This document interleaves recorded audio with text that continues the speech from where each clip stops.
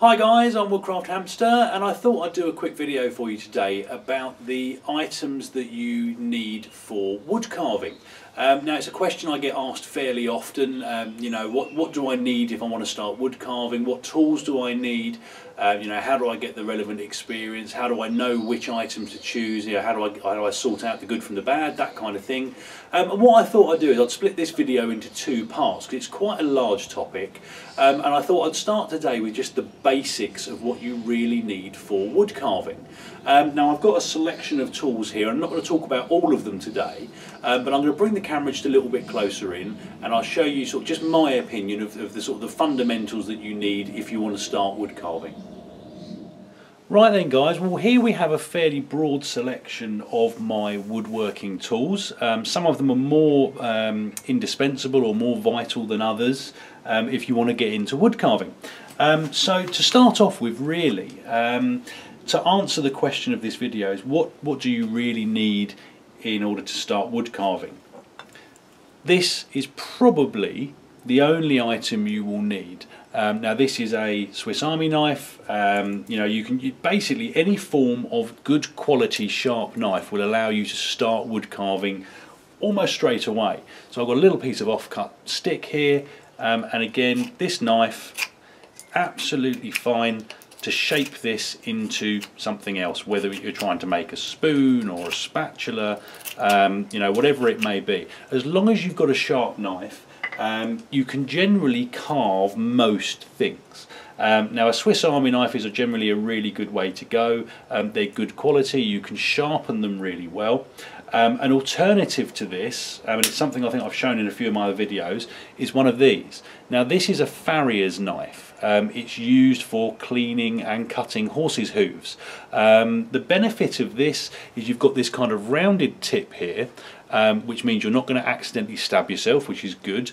Um, it, they're generally sharpened on both sides. Um, and, and, very similar to the Swiss Army knife, you know, you can use this in either a, a sort of a push direction like so or a slightly more controlled pull like this um, and you can do pretty much everything you can with one of uh, with one of these as you could with the Swiss Army knife. The benefit of having this very small hooked section is that you can kind of use it to scoop out a very small hollow. Now I've tried making a spoon with just one of these. It is possible, though it's very labour intensive.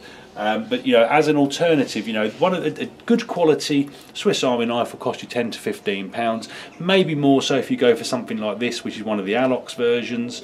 Um, a farrier's knife on the internet you can pick up for about five pounds. Um, so if you want to go on a real, real budget, something like this will do you really, really well. Um, the alternative is obviously one of the Moras. You can pick these up again for 10 to 15 pounds. Um, they're brilliant little knives. They cut really well. Um, and if you're doing this in conjunction with sort of bushcraft, you know, you can't go wrong with um, a Mora knife. So fundamentally, if you want to start carving, you need to get yourself a knife. Um, doesn't matter which one of these three or, or any other that you choose, provided it's good and it's sharp um, and it's kind of suited to carving. Something with a Scandinavian grind is superb, um, but even just a small pocket knife like this is absolutely fine. Um, so that's the first basic that you will need. Um, in conjunction with that, there are two things that just I personally believe that you need. There's a lot of contention about this in different um, sort of bushcraft and woodworking circles. The first thing I think that's, that's absolutely indispensable is a saw. Now the Bahco Laplander, which you've probably seen in some of my other videos, um, I think is a really, really good all-round saw. Um, and what this will allow you to do is not only will it allow you to trim off and, and to a degree shape certain pieces of wood that you're working with, it will also allow you to collect your wood as well. So if you're out and you've got access to sort of a small forest environment or something like that and you find a fallen tree, um, you can use this I mean, I've got this one here, which is my uh, Silky Gomtaro, and again, very similar, slightly longer blade, and it's a fixed blade as well. You, can, you can put a little bit more power into this, um, and it cuts ever so slightly quicker.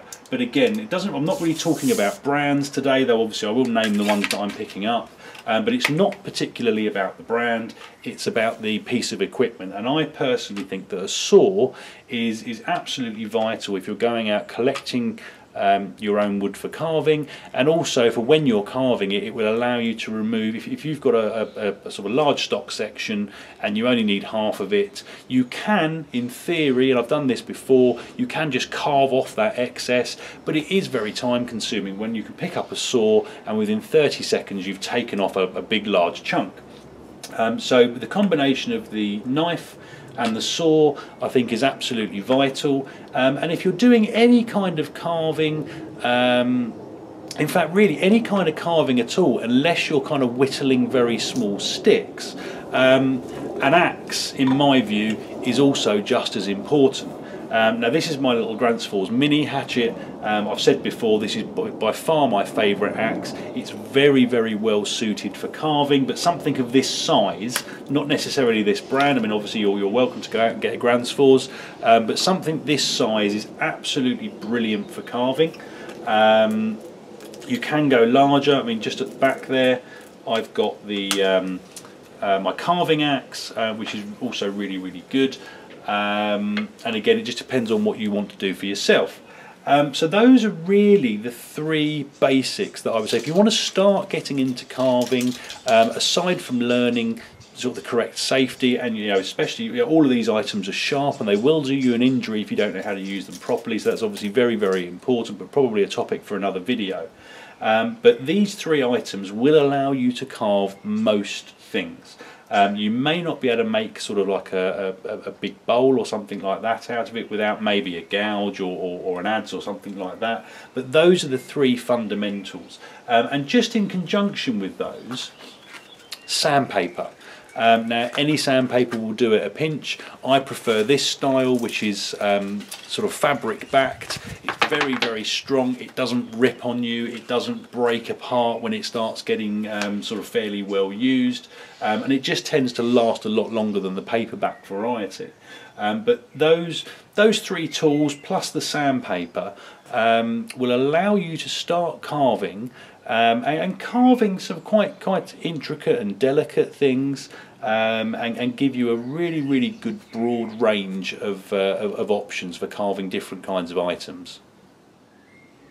Right then guys, so just as a quick recap, um, and again this is just my opinion, so if you want to start carving, what you need is a knife. Now whether it's a small Swiss Army knife like this, or a sort of fixed blade Mora along this line. Um, to a degree it doesn't really matter. Um, provided you've got a good sharp knife, um, you can start carving. And you, you can generally carve quite a few different things, you know, spoons, um, aside from getting the indentation in the bowl. Now you can carve a spoon with a Swiss Army knife, it takes a little bit more work and a little bit more care to sort of scoop out bowl and generally it takes a little bit longer on the sanding side to smooth it out afterwards um, but you can very easily make a spoon with just a knife. Um, in conjunction with those obviously you've got your saw and you've got some form of axe. Um, now the saw and the axe really are there to make your life more easy. Um, and what it will do it will allow you to remove a lot more material a lot more quickly.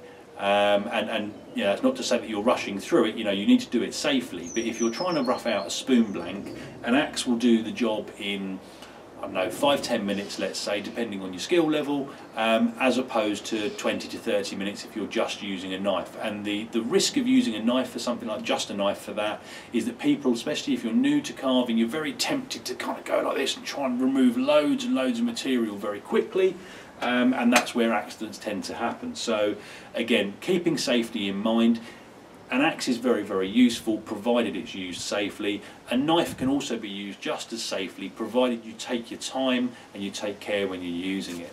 Um, so that's just my thoughts on what you really need to start carving. Those are sort of the, the, fundamentals in my mind and if I, if I ever take somebody out to sort of the woodlands with me who want to give it a go, those are the three tools I will try and get them familiar with, make sure they're using them safely um, and generally you know you, you can make most carved items out of just those three tools. Um, well, what I'm going to do guys, next video um, I'm going to look a little bit more in depth at some of the other items that are not essential but will either open up more possibilities for you um, or make your life slightly easier.